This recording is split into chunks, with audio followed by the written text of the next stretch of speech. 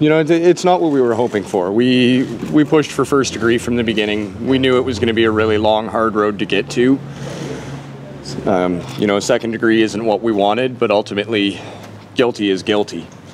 You know, they they lose a few years of their life. We lost her.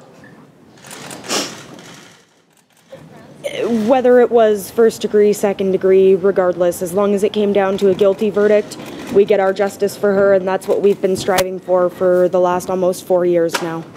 Pointing out what exactly each one was responsible for, and to hear the judge, you know, to hear the words being said that this is what you did, and I, as a judge, find you responsible for that.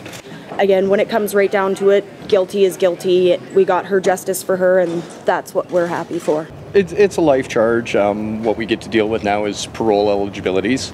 Um, so, you know, we, we will provide our victim impact statements. We will be there for the sentencing date. We will be there for parole hearings. We will be there to push and, and to see and make sure that they spend every minute behind bars that they possibly can and should. You know, we're, we're not going to let them ever forget about this.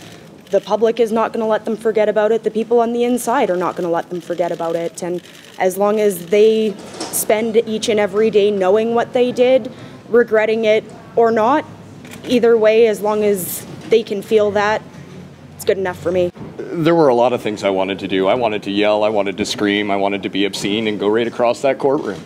Um, at the end of the day, what it boils down to, and what my exact sentence and, and sentiment was, was that it does not matter the degree that you're charged with. Guilty is guilty, and you're both child murderers.